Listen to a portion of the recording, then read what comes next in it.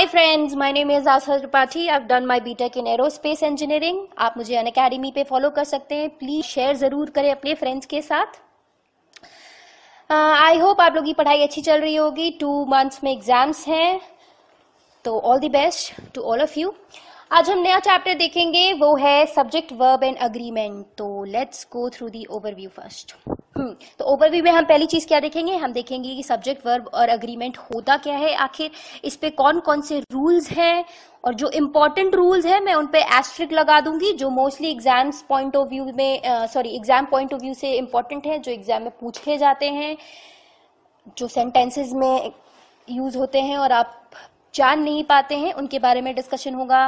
Next होगा कि हर एक छोटी डिटेल को मैं, हर एक छोटी डिटेल को मैं इन्वॉल्व करूँगी, लेकिन जो इंपॉर्टेंट होगा उसको मैं एस्ट्रिक से मेंशन करूँगी। तो प्लीज़ इस चीज़ को ध्यान रखें।